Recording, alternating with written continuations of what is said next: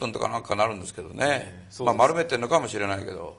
まあ、それは上村さんのおっしゃる通りあの今後の謎解きがずっと続くことになるでしょうね。なるほどね。まあいずれまあ、えー、その死の真相が徐々に明らかになってくるというような感じでしょうかね。徐々かあるいはあの北朝鮮の体制が崩壊することによって出てくる真実の一つかもしれないですね、うん、今後。わかりました。それではですね、えー、次のテーマはこっちがね、じゃんということで。えー、金金正日総書記の死去でどうなる北朝鮮葬儀はどうなるというですね、うん、えー、ちょっとディテールについてですねお話をちょっと伺いたいと思うんですけれども。水曜日28日だっけ？そうですねはい、はい、これあまず27日ですね。はい。まずあの注目すべきなのが、あの実質的に葬儀委員長の決まりが早かったってことですよね、はい、葬儀委員長って言い方はまだあの公式にはしてませんけれどもその葬儀を行う者の序列を発表されてその一番上に、えー、キム・キムジョンウン、うん、軍事委員会のサブがいるわけですから、はい、一応彼がその葬儀委員長。だからそこまでの、まあ、安定とは全く言えませんけども、うん、そこまでは一応で話はできてるんだなということは言えると思いますね。ただ普通の国の弔問外交と多分あり方は違うと思いますけれどもね、はい、あの当然日本からも誰かが行くことになるんでしょうか？でしょうね。まああのね2回会ったから小泉さんに行けとかいうようなね、えー、話も出てますけどでも小泉さんが行ったからっつってね例えば拉致問題でなんかもうもう一個前進するとかね、えー、そういうのちょっと期待できないですんだよね。やっぱり小泉さん誰か行く行くのだろうけどじゃあ他の人誰が行くのって安倍さんじゃいから嫌だろうしね安倍さんもね。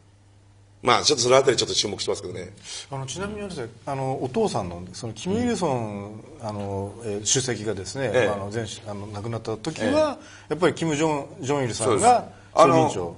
えー、とキム・イルソン国家主席が亡くなったのは94年で。そうですねはい。でキム・ジョイルさんが後継指名されたのは20年前の1974年ですからね、もうあの確固たる地位は築いてたんで。だから当然のように葬儀委員長にもついたと。葬儀委員長正直僕は葬儀委員長って名前がついてたかどうか記憶が定かじゃない。トップになんか葬儀委員長っていうのはまあ西側が呼ぶまあ、名前が、ね、なるほどなるほど。葬儀名簿っていうかね、うん、名簿のトップに名前が来てるという、うん、序列でいうという、ね、あと実際に誰が仕切ったかってことで言えばそれは間違いなくキム・ジョンイルさんです、うんうん、はい、なるほど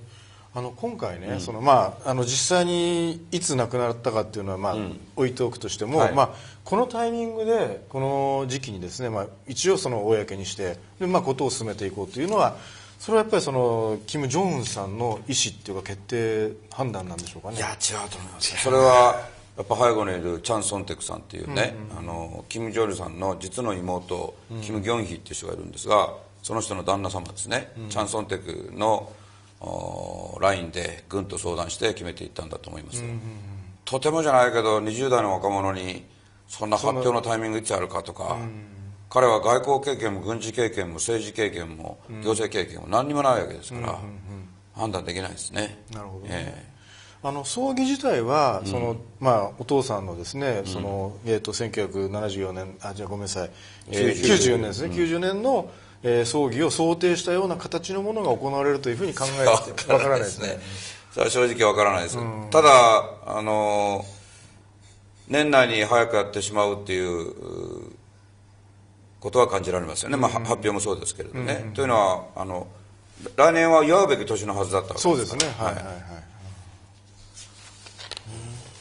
亀井さんその葬儀についてはどんなこも形で行われるっていうなんかイメージをお持ちですか？いやもうほとんど形式的なもんだと思いますけどね、うん、あのそこで何か新しい、ね、あのものが展開するとか、うん、あるいは新しい指導部が出てくるとかね、うん、そういうことはなくてやっぱりあのあのキムのあのキム・ジョンのおじさんでね。義理のおじさんにあたる、はい、あの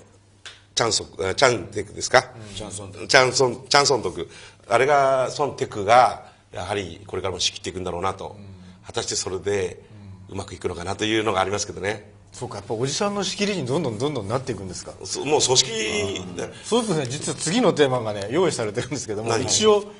えー、じゃんっていうことでですね、うん、えー後継者の金正恩氏は今後国内をまとめていけるのか。これだよね、一番の問題は。これが多分あの今あの視聴者の皆さんも含めて皆さん一番関心のですね、これはあの最大おっしゃる通り最大関心事ですけれども彼一人でできるはずはないです。よ、うん、それは全く不可能で、はい、あのもう一回おさらいですけれどというかあのご覧になっている方もご存知の人は多いと思うんですが、えー金正恩総書記は1974年の2月14日に後継者として正式に衰退されたんですよ、はい、ただしそれは伏せられた、ね、発表されなかった、はい。は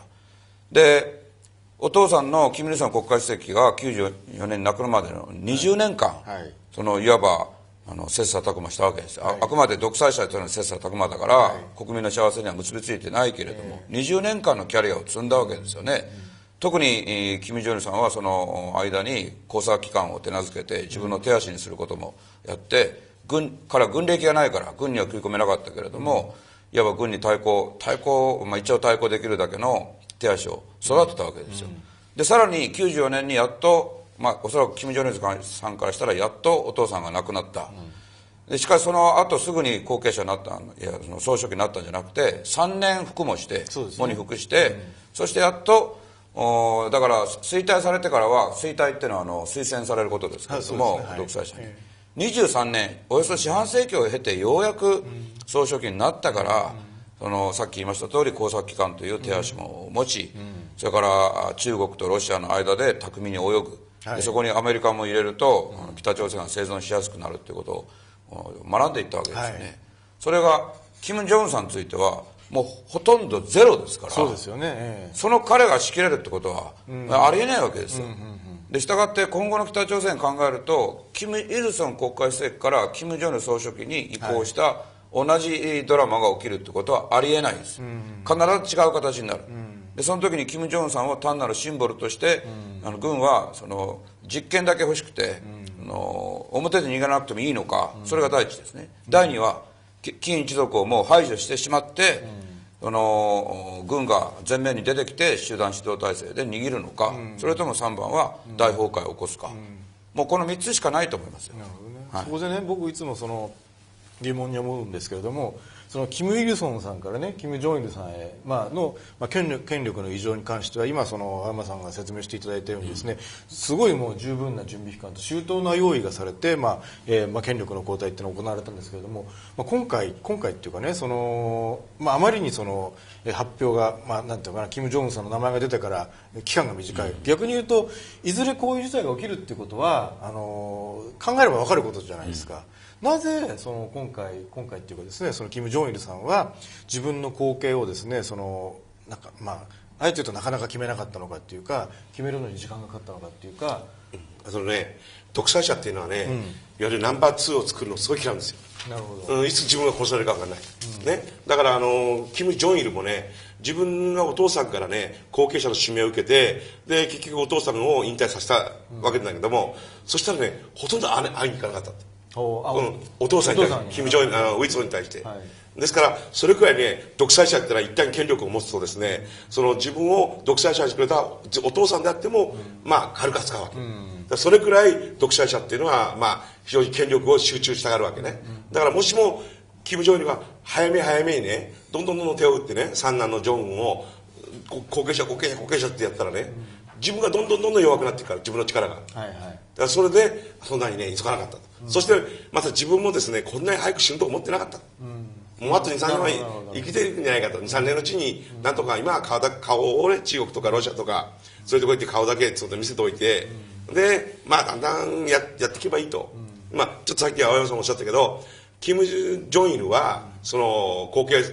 引き継ぐ前にね例えばソウルオリンピックソウルオリンピックの前にね対艦航空機爆破事件を起こしてるわけですよ、はい。それからラングーンでね、はい、そのアウンサン病って言って、はいはい、その爆破事件も起こしたわけね、はい、で韓国の大臣クラスのかあの閣僚クラスを何人も殺してるわけですよね、うんうん、それも全部キム・ジョンイルが指揮してるわけですよ。なるほど。やったのは工作員だけどね、うんうん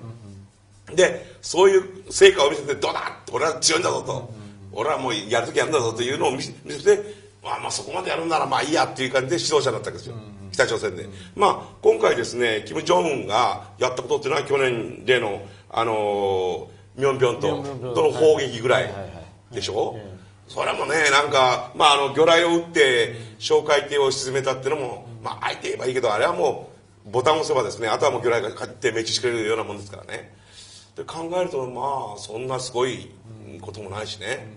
でこれでじゃあ軍が全部ひれ伏すかって言ったら私もひれ伏さないと思うから、まあ、最初の質問に戻りますけども、はいはいはい、キム・ジョンイルあキム・ジョンが、その今後ね、その後継者としてそのちゃんとうまくやっていけるかどうかっていうのはね、私は無理だと。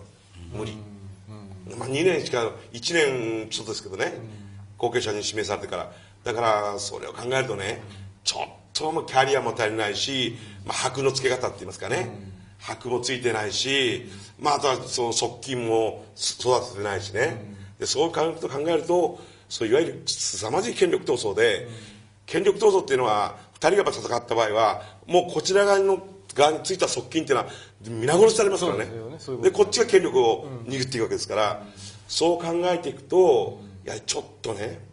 あのー、今後凄まじい権力闘争が北朝鮮で起きるんじゃないかと、それは1か月後なのか、1年後なのか2年後なのかちょっとそれは分かんない、まあ、今のところ読めない、でも今の金正恩がこのまま北朝鮮であのお父さんみたいなねその独裁者としてその統治するってことは私は考えられてますよ、あとねあの山口さんのあの問いにもう一度答えるとですね、はい、あの今カメラさんがおっしゃったその独裁者はナンバー2を作らないものだっていうのもその通りだと思います、はい、でその上でねあの一時期やっぱりキム・ジョンナムさん、うん、日本で有名な金正夫さん。さんね。あのディズニーランドに行こうとして、はい。はい、を考えた時期はあったと思います、うんうんうん、それから次男坊のキム・ジョンチョル金製鉄とか、はいはいはい、彼についても一時期考えたことはあると思います、うん、つまりあの子供たちの中であの母親が違うこともあってですね、はい、どれを選ぶかっていう迷いでなるほど。そして一番下のそのキム・ジョンウンさんが一番キム・ジョンイルさんに似てるっていうのは昔から評判だったけどとにかく末帝ですから年が若すぎてですね、でそれであの自分の式と、えー、うまく後継者を育てることが合わなかったんだと思いますね。